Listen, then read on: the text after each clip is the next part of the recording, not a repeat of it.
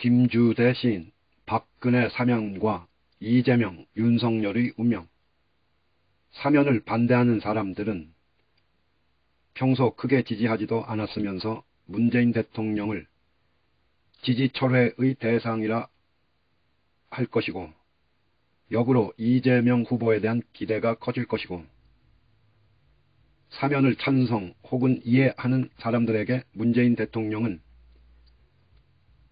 여전히 지지의 대상이고 따라서 문재인 대통령의 민주당을 계승하고 발전시키고자 하는 이재명 후보에게 지지가 몰릴 것이고 이재명 후보는 이래도 좋고 저래도 좋고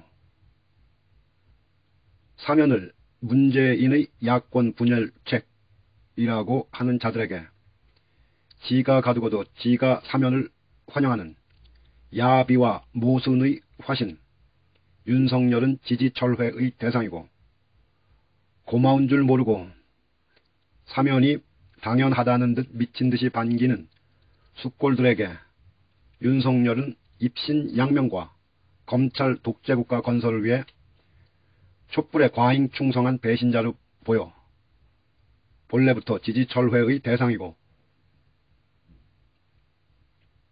윤석열은 이래도 안 되고 저래도 안 되고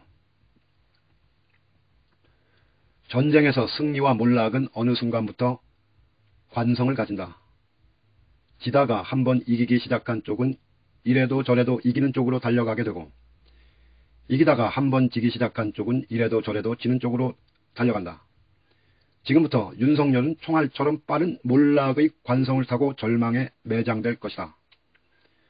앞으로 박근혜는 국힘당을 돕겠다고 정치파를 기웃거리며 훈수를 둬도 가소롭고 국정농단에 대해 통렬히 반성하고 사과하지 않으면 가만히 있어도 웃기는 존재가 된다. 최고로 점수를 준다고 해도 그저 연민의 대상일 뿐이다.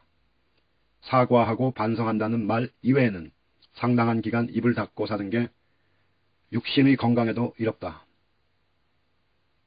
문재인 대통령의 박근혜 사면은 정치적 계산을 하지 않은 몸이 아프다는 사람에 대한 인간적 배려로 보인다.